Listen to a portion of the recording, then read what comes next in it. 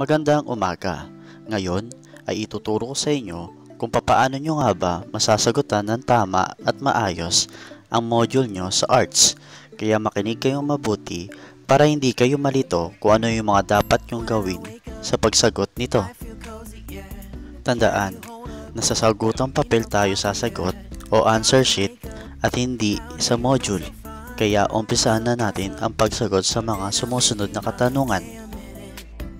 Subukin natin. Panuto. Basahin at unawain ang mga sumusunod na mga tanong. Piliin at isulat sa portfolio, booklet, ang titik na napiling tamang sagot.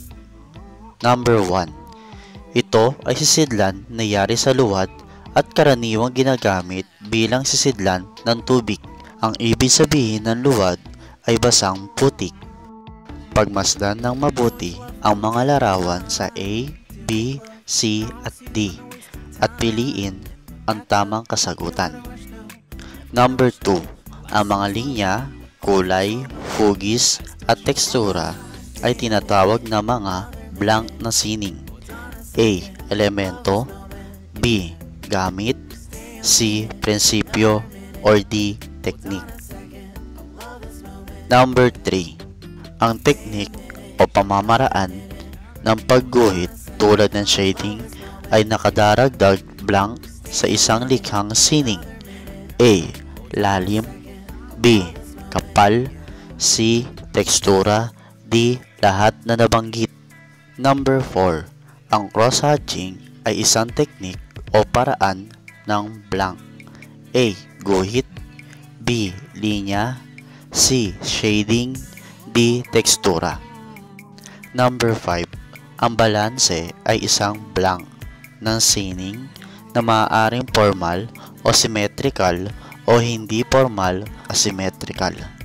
A. Elemento B. Gamit C. Prinsipyo or D. Technique Number 6. Paano mo may papakita ang ilusyon sa lalim at layo ng mga bagay na may tatlong sukat o three-dimensional.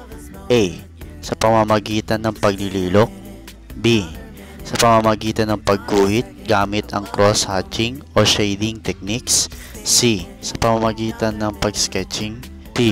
Sa pamamagitan ng pagkuha ng larawan gamit ang digicam. Number 7. May dalawang uri nito. Ang formal o symmetrical at hindi formal o asymmetrical. A. Balanse B. Tekstura C. Prinsipyo or D. Technique Number 8. Saan matatagpuan ang tinatawag na tapayang manunggal? A. Baguio B. Batangas C. Palawan or D. Cebu Number 9 saan yari o gawa ang tapayan, banga at palayok. A. Luwad B. Buhangin C. Putik or D. Bato Number 10 Ang blank ang nagdala at nagpakilala ng mga produktong seramika at porselana A. Chino B. Hapon C. India or D. Arabo.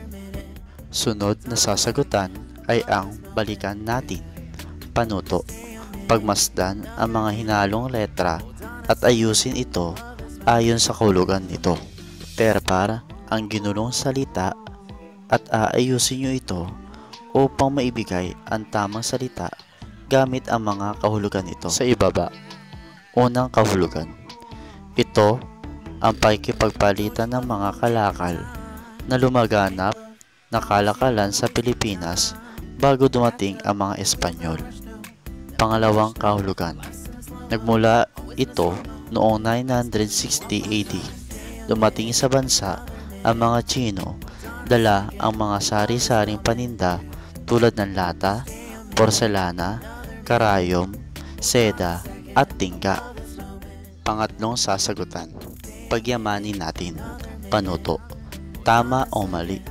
Isulat ang tama kung ang ipinapahayag ng mga pangungusap ay tama at mali kung hindi.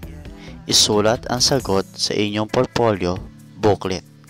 Number 1. Barter o pakikipagpalitan ng mga kalakal ang lumaganap na kalakalan sa Pilipinas bago dumating ang mga Espanyol. Number 2. Ang banga ay sisidlan na yari sa luwad at karaniwang ginagamit bilang sisidlan ng tubig. Number 3. Ang balance o balanse ay isang prinsipyo ng sining na maaaring formal o symmetrical o hindi formal o asymmetrical. Number 4. Ang mga linya, kulay, hugis, tekstura ay tinatawag na mga gamit ng sining. Number 5. Ang isang mahalagang silbi ng tapayan ay bilang pangalawang sisidlan ng mga boto ng katawan ng mga yumaong sinaunang Pilipino. Pang-apat na sasagutan, isa-isip natin, panuto, basahin, at sagutan sa iyong kwaderno ang mga sumusunod. Unang katanungan, magbigay ng isang dayuhan sa Pilipinas at ang produkto nito. Ilagay ang sagot sa ibaba. Pangalawang katanungan, paano mo ginagamit ang iba't ibang linya, hugis, at espasyo sa pagguhit ng mga produkto? Ilagay ang kasagutan sa ibaba. Pangatlong katanungan, paano naka-impluensya ang kalakalan sa pag-unlad ng likhang sining sa Pilipinas? Panglimang sasagutan, isagawa natin, kagamitan, portfolio, booklet, crayola, lapis, marking pen, mga hakbang sa paggawa. Una, kunin at portfolio, booklet, at gumuhit ng mga produkto noong unang panahon na nais mo sakali ikaw ay may pagkalakalan. Kahit isang larawan ay pwede na. Number 2. Iguhit ang mga produkto gamit ang lapis at marking pen. Maaaring gumamit o umisip ng sariling disenyo gamit ang hugis, linya at prinsipyong paulit-ulit. Kahit isang produkto ay pwede na. Pangatlo, kulayan at punuin ang espasyo ng mga disenyo sa mga produktong iyong iginuhit para lalong maging kaakit-akit ang iyong likhang sining.